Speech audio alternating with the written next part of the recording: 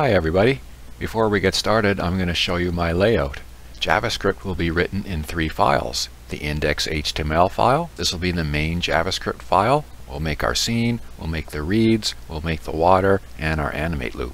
The ground.js file will make a rocky cliff in the background, and the shaders.js file will make our vertex shader and fragment shader. I have a folder called BG. Everything in the background will be in this folder. I have a cliff folder that holds all the texture images for the cliff. I have a water folder that holds the water texture image and my ground.js file and the water.js file is the water shader that I got from the Three.js GitHub website. So let's get started by making our shaders with our shaders.js file. The shaders.js file contains my vertex shader and fragment shader. The vertex shader manipulates each vertex. So on my vertex shader, I'm declaring the uniform time. So time will be used to animate the reeds. I'm creating this noise function I got from the book of shaders at this website. Basically, you're getting a random number and separating it into the fraction and the integer parts. The fraction parts will be run through this smooth step function to produce a smooth gradient. So the screen will be divided into cells. I'm going to get a random integer value for the bottom left corner, bottom right corner, top left corner and top right corner. Then I'm going to mix the values in between them with the fraction values to produce a smooth color gradient. So here I'm mixing the bottom left and bottom right values according to the fraction x values. And here I'm mixing the top left and top right with the fraction x values. And here I'm mixing the bottom and top values by the fraction y values. So inside the main function, t will be the animation speed. I'm getting the vertex position and then I'm calculating the amount of smooth noise for this xz position here and I'm adding in the amount of time as a vector. When I call the smooth noise function I need to pass in a 2D vector which this calculates. And then I am calculating the noise strength by restricting it within a certain range of values. In order to get the reeds to bend stronger at the tips I'm using this math function here. So it makes it when you're higher on the y-axis, you're going to get a greater amount of bend than you are at the base of the reed, or a lower y value. Then I'm restricting the amount of displacement between a range of values, and then putting that displacement on the negative z-axis. But you could change this. You could put the x-axis here, you could make it positive or negative, and that will determine which way the reeds will blow or move. And then I'm just putting in the final position of each vertex here. For the color shader, I'm just setting a base color of green. You see the G value, RGB, is 1. And then I'm going to produce a color gradient based on the y-axis. So the base value will be here, and then we're increasing it as you go up the y-axis. And by playing with these values, you can produce different types of gradients because we are multiplying these two color values together to produce the final color of a pixel.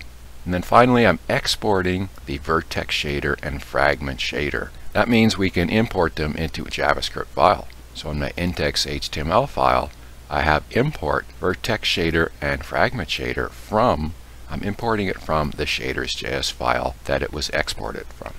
Alright, let's make our ground. So my ground JavaScript is in this ground.js file, which is in my background folder. The first thing I'm doing is importing three.module.js from my code editor directory. That way I can use the Three.js commands in this ground.js file. And inside my background folder I have a cliff folder which contains texture images for my ground. I have an albedo map which is also called a color map. I have an ambient occlusion map, a height map, a normal map, and a roughness map. So I'm creating a texture loader to load these images and I'm creating a variable called s which is set to 3. This is the number of times the texture will be repeated horizontally and vertically on my ground. Now you may want to change this number depending on what type of texture you have, the size of the texture, and the size of your ground. But all my textures will be using this variable. And I'm just taking each map and loading it and putting it into an object. Then I'm setting the wrap S and wrap T properties to repeat wrapping. That means the wrap S property can repeat the texture horizontally and the wrap T property can repeat the texture vertically. Then I'm setting the repeat set method to the number of times it can repeat the texture horizontally and vertically. And I'm doing that for all five maps. Then I'm creating a new 3 plane buffer geometry for my ground geometry and I have my width, length, width segments, and length segments. Now I have to create a second set of UV coordinates or texture coordinates for the ambient occlusion map. So I'm just creating a new variable and making it equal to the first set of UV coordinate values. And now I'm creating a constant ground and I have the word export in front of it. That means I can export this ground object into another JavaScript file. So it's going to be a new 3 mesh. I'm passing in the ground geometry and I'm creating a new 3 mesh standard material and I'm setting my color map to the map. I'm passing in a color. So the color of the color map will be combined with these color values. The normal map will be the norm map. The roughness map will be my rough map up here. The roughness value is set to 1 because it's a rocky cliff surface. I want it to look rough.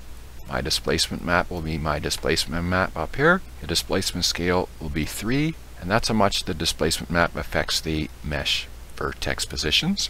And my ambient occlusion map is my AO map from up here.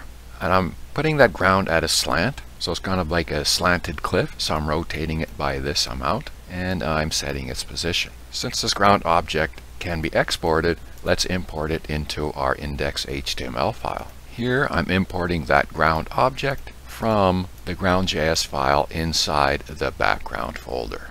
Let's start working on our Three.js scene. So in my index.html file, I have imported this water shader from the Three.js website, and I've placed it inside my background folder along with my ground.js file. So I've just created a scene. I've created a background color that is kind of grayish to make it look foggy and I've added some fog to the scene using this exponential fog. So that means the fog will grow exponentially from the camera. And I've set the color to the same color as the background so that the fog will fade into the background color. And I've set the near value and the far value. So the near value, anything closer than that is unaffected by fog. And the far value, anything farther than the far value is completely fog color and anything between the near and far values will fade to the fog color. So you can play with these numbers to get whatever kind of effect you want.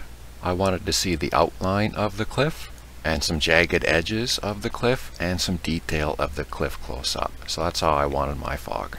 Okay, then I'm just creating a camera, setting its position and rotation. I'm creating my render. I'm creating an ambient light and a directional light. The directional light has a little bit of yellow color, so the rocks will have like a little yellow tinge to them. And my orbit controls. And then I'm adding the ground that we imported from ground.js. So now we're ready to build our reeds. So we're going to make a new 3 clock to keep track of the time. Because remember, time is a uniform that we declared in our shader and we're creating a reeds material. It's going to be a new 3 shader material. So we're going to pass in the vertex shader, the fragment shader, the uniforms, and we're going to draw the material on both sides of the object. So the number of reeds is 5,000, and I'm making a constant called reed, and it's going to be a new 3 object 3D. This reed object will store the position, rotation, and scale of each instance of a reed because we're going to use instanced mesh. Instanced mesh is good for if you want to draw a large number of objects with the same material and geometry. It increases performance rather than just making individual reeds with their own geometry and material. So for reeds geometry, it'll be a plane geometry with a width of 0.02, a height of 2, and one width segment and four height segments because reeds are long and thin. And I'm creating the object reeds, which will be a new 3 instance mesh I'm passing in the reeds geometry, the reeds material, and the number of reeds. So when you create instance mesh, you have to pass in the geometry, the material, and how many of them you are making. And I'm adding those reeds to the scene. And I'm setting the position of the reeds to this y value at the level of the water. So now we're going to transform the position, scale, and rotation of each reed instance. So I'm looping through the number of reeds, I'm setting the x position from minus 25 to 25. The y position will be 0 and the z position will be from minus 7.5 to 7.5. You can change these numbers to whatever you want to position them however you would like. I'm scaling them from 0.5 to 1 and I'm rotating them on the y-axis from 0 to 180 degrees. 180 degrees is math.pi. Then I'm going to update the matrix or the local transformation of a single instance. So we're transforming them at a local scale, not at the world scale yet. To transform them at the world scale, or to transform them from the object scale to the world scale, we're going to use the reeds object and set the matrix at each individual instance to the reed matrix. And now each reed instance will be transformed at the world scale. So we're ready to go. So now let's add water to our scene. Let's create our water. So my water geometry will be a new three plane geometry, 70 units by 30 units. You can make it any size you want. And my water object will be a new water. So I'm passing in my water geometry and the texture width and texture height. And the water normals will be a new three texture loader that loads the image of the water normals. You could put the website where the image is located, or you could download the image and put it in your code editor directory. And there's a comma after this image because we're going to pass this texture into a function and set the wrap S and wrap T properties to repeat wrapping. So the texture can be repeated horizontally and vertically on the plane. And after that we're going to set some properties for the water. So the alpha will be 1. I've commented out the sun direction and sun color because they're not in this scene. You can set the water color and you can set the distortion scale. The distortion scale distorts the reflection of an object on the water. So a lower number means less distortion. And then I'm rotating the water minus 90 degrees so that the y-axis is up and down. I'm adding it to the scene and I'm setting its position. And then I'm declaring the water uniforms as the water material uniforms. And I'm going to change the uniforms in the animate function. And in the animate function, we're going to pass that time variable into the reeds material and the water material. So here I'm getting the amount of time that is elapsed on the clock and I'm making it equal to the reeds material uniforms time value.